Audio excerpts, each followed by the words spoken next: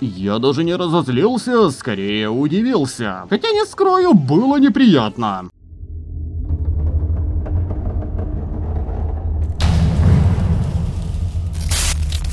Всем привет! Вы на канале Devplay, и мы продолжаем проходить Love Money Rock'n'Roll. И не забываем пошлепать мой лайк, написать комментарий минимум из пяти хороших слов для поддержки этого видео.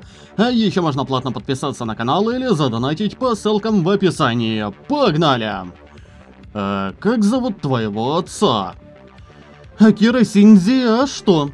Акира Синзи, распространенное имя.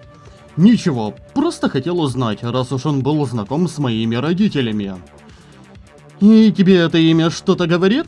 Ровным счетом ничего. Конечно говорит! Именно про него рассказывала Ичиноса. Однако, как бы все это ни было интересно и занимательно, я ведь не узнал совершенно ничего нового. Ну да, работал на проекте, ну да, похитили. Блять, каждый день такое происходит, ага. А дальше-то что? Ичиноса говорил, что его, возможно, уже убили. Я смотрел на напряженное лицо Кагумы и не решался об этом сообщить. Теперь уже не только по соображениям собственной безопасности, но и не желая отнимать у нее последнюю надежду. Твой отец найдется, я в этом уверен. Как ты можешь быть в этом уверен? Ладно, я просто подбодрить тебя хотел. Довольно? Кагома встала со стула. Лучшей помощью от тебя будет информация, так что если что-нибудь узнаешь, расскажи мне, понял? Да понял, понял. Я проводил ее до ворот и вернулся на кухню. Сколько всего нового в жизни и смерти моих родителей мне открылось за последнее время. Сложно признаться самому себе, но похоже я совсем их не знал. По крайней мере, не знал правду об их работе. Тут же секретная работа. Удивительно.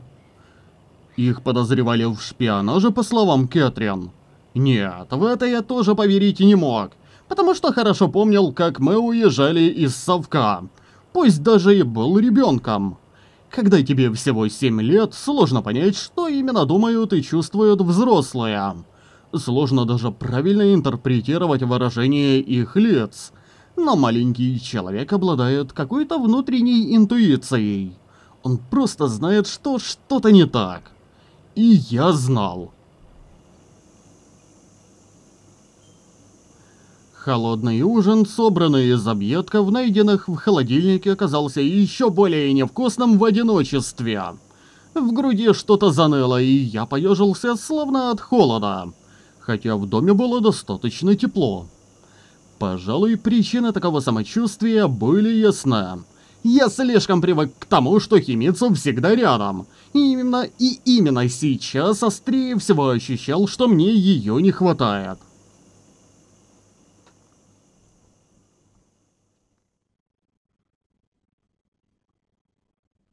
19.09.1987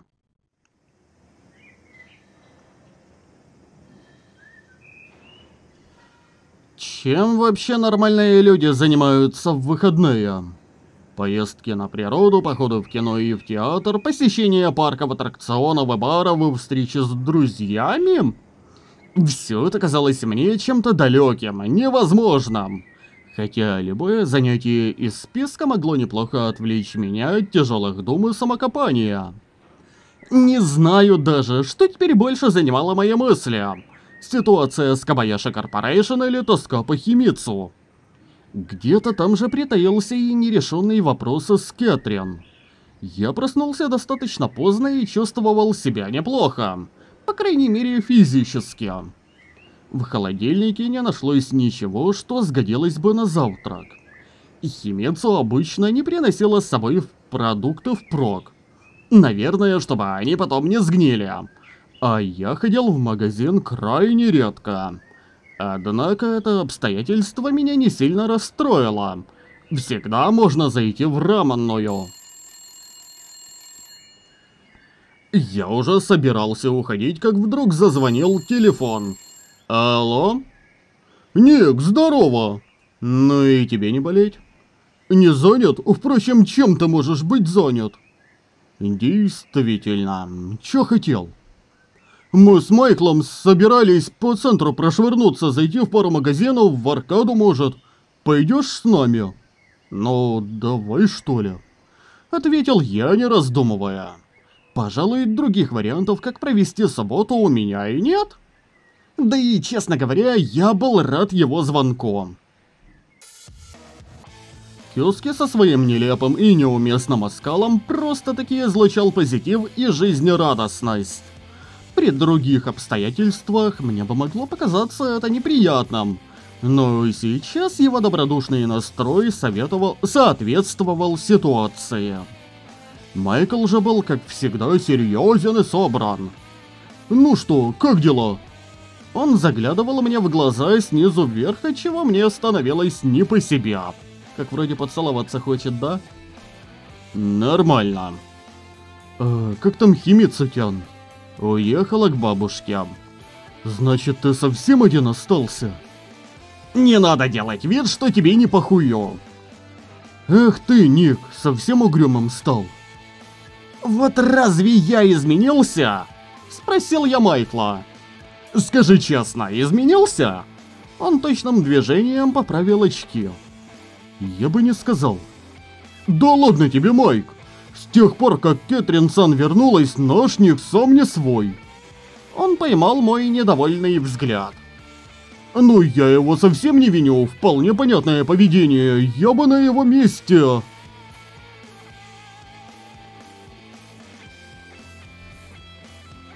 Ну, хватит уже, Кёски. Спокойно сказал Майкл, и Кёски тут же замолчал, повесив голову. Вот почему он на мои...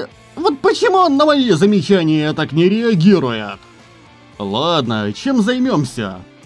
Есть у меня одна идейка. Он зловеще потерял, потирал руки. Несколько часов в аркаде прошли незаметно. Видеоигры отвлекли меня от насущных проблем и позволили на некоторое время забыть о реальном мире. Я не был так хорош, как Кёски, но значительно опередил Майкла по очкам на любом автомате. Гордиться тут особо нечем, словно здоровый победил на паралимпийских играх. Медаль вроде бы золотая, да только ты чё-то все равно идет. А в аркаде даже и медалей не давали. Мы вышли на улицу, когда солнце уже начало заходить. Было очень круто. Было очень круто, если бы видеоигры сделали настоящим спортом. Типа как футбол? Ну да, тогда бы я точно стал чемпионом. Надеюсь, не доживу до этого дня. не каркай. Флегматично заметил я. А что, это ведь тоже своего рода спорт, требующий быстрой реакции и тренировок. Кёски проводил здесь дни напролёт и, конечно, играл неплохо. Но мне казалось, что я легко смогу лучше, если потрачу столько же времени, сколько и он. Впрочем, что самое главное, у меня не было никакого желания. Ну ладно, давайте уже поедим. В аркаде я немного перекусил, но пришло время нормально пообедать. Мы зашли в кафе, и я наелся от пуза. Киоски отлучился позвонить, и мы с Майклом остались наедине. Так ты уже успел поговорить с Кэтрин? Поговорить? О чем? Выяснить отношения, скажем так. Кажется, мы только этим и занимались. Да нет у нас никаких отношений. Вот как? Значит, ты к ней больше ничего не чувствуешь? Я внимательно посмотрел на Майкла, пытаясь понять, к чему он клонит. Но его лицо было по-прежнему невозмутимым. «Почему ты спрашиваешь?» «Просто если между вами все кончено, то мне хотелось бы об этом знать». «Так не говори мне, что ты на нее имеешь какие-то виды!» «Да, я думал об этом, если ты не против». Ничуть не смутившись, ответил он. Вот оно как получается. Я даже не разозлился, скорее удивился. Хотя не скрою, было неприятно. Думаю, нет такого человека, которому бы, которому бы понравилось, что его лучший друг начал встречаться с его же бывшей девушкой. Во всяком случае, я точно не из таких. А что изменится от моего ответа? Мне важно знать твое мнение. А мнение Кэтрин тебе не важно? У тебя я могу спросить напрямую. Никак не получалось отделаться от ощущения, что это показная вежливость и предусмотрительность. По сути, гаденькое поведение, причиной которого является скорее трусость, чем забота о друге. Вроде как предупредил и тем самым снял с себя ответственность за последствия. Ну ты выдал, брат. Не ожидал, врать не буду. Ну что я действительно... Но что я действительно чувствую Кэтрин сейчас? Что я почувствую, если она начнет встречаться с Майклом? Еще пару дней назад ответ на этот вопрос был бы для меня очевиден. Но теперь после того, как я опасно сблизился с Химицу... Да ни хера не опасно, вообще безопасно. Даже очень надо было. Так, что ты скажешь? Да меня это не касается, как бы. Чпокаетесь? Да, меня это не касается.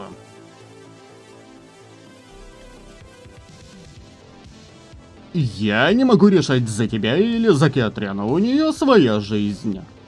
Действительно, у нас давно с ней нет никаких отношений, и глупо ждать, что она до старости будет одна.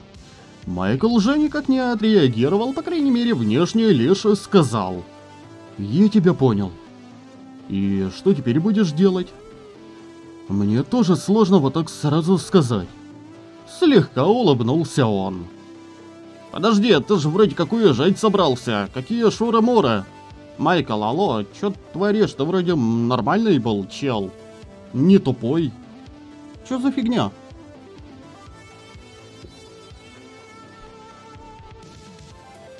Но будь уверен, на нашей дружбе это никак не отразится. Ну да, как же! Если ты решишь, что все-таки ее до сих... Если ты решишь, что все-таки ее до сих пор любишь...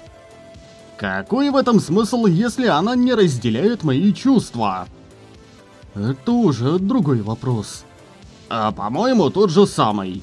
В таком случае мы становимся соперниками. Только у тебя, так сказать, свежий старт. Ну, что вы тут без меня? Вернулся Кёски и разрядил неловкую ситуацию. Однако этот разговор еще не закончен. Уф, как же я наелся. Он поправил ремень и тяжело вздохнул. Тебе бы не помешало следить за весом. Говорят, что ожирение будет болезнью 21 века. Да не, сказки это все, уверен, тогда уже изобретут какой-нибудь аппарат, выкачивающий жир. Ну да, только на тебе-то он и сломается. Мы дружно рассмеялись. И все-таки, я шел домой и думал о словах Майкла. Последние дни, проведенные с Химицу, заставили меня позабыть о Кэтрин. Но ведь она никуда не исчезла. Более того, продолжала жить своей жизнью. И будет продолжать. Влюбится, выйдет замуж, родит детей. И все это без меня. Да и похуй! И я впервые задумался о том, что такими темпами наши пути разойдутся навсегда. Да и похуй. Вполне ожидаемо захотелось отвлечься. Я находился всего в нескольких кварталах от своего любимого бара но тут же вспомнил записку Химицу о вреде обильных возлияний. Не то чтобы мне было стыдно перед ней за то, что еще не совершил, просто она объективно права. Интерес, интересно, что сейчас чувствует Кэтрин? Наверняка она сегодня не тусовалась с подругами, если они у нее вообще есть. Сидели до... Сидела дома и смотрела телевизор или читала книжку? делала уроки или убиралась? Как она воспринимает одиночество и так ли сильно оно на нее влияет, как на меня? К сожалению, выяснить это не удастся. Я же не могу просто прийти и спросить. Хотя, почему? Потому что у Майкла на нее вида? Фу! И как я мог так в нем ошибаться? С другой стороны, он ни в чем не виноват. Я подошел к своему дому и остановился. Старый, с темными окнами и просевшим крыльцом, он выглядел почти что заброшенным. Если бы я жил здесь совсем один, так бы и было. Все-таки Химицу с ее регулярными уборками, стиркой и готовкой создавала уют в доме.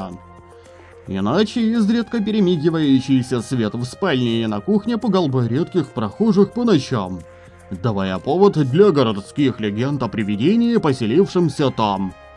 Эти люди добавились к мыслям о Кэтрин, и я уже был готов на стену лезть. Интересно, а у меня записан адрес бабушки Химицу? Я неплохо помню сам дом и окружающий пейзаж. Но где все это находится, решительно не представляю.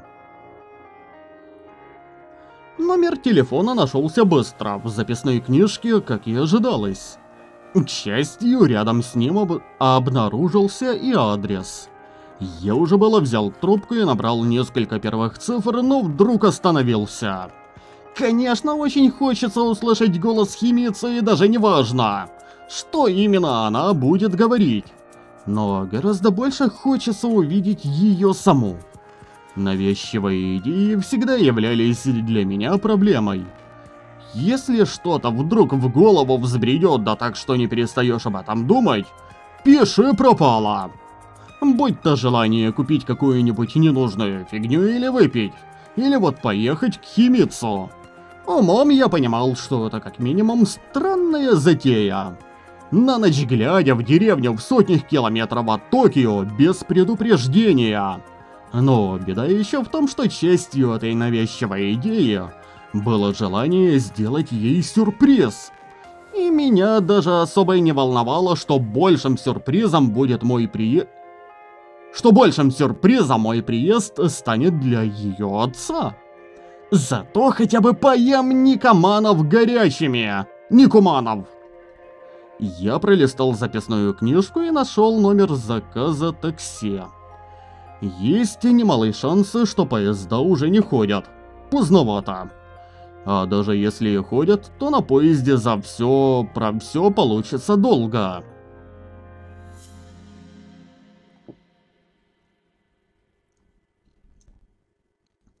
Мне же нужно именно сейчас, немедленно! По телефону назвали совершенно невменяемый с моей точки зрения ценник.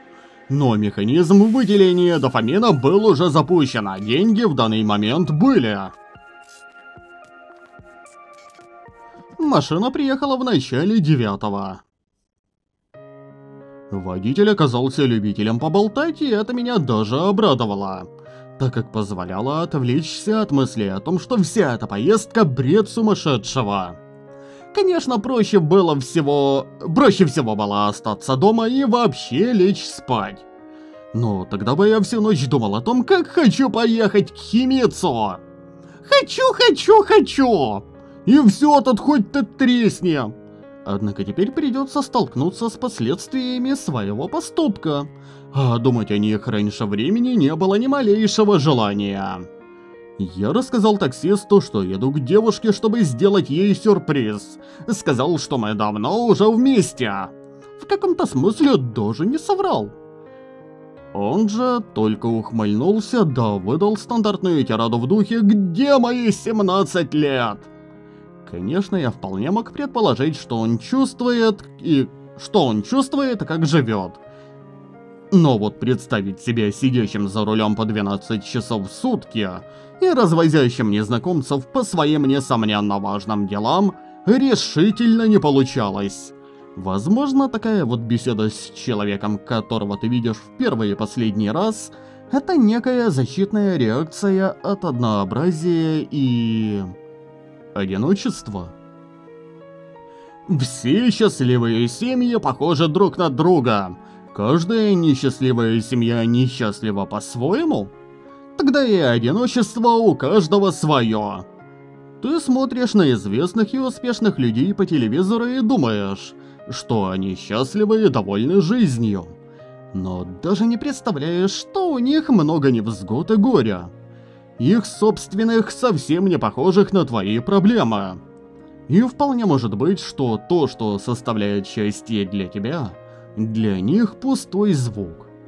Думаю, Есенин и Хемингуэй могли бы многое сказать на эту тему.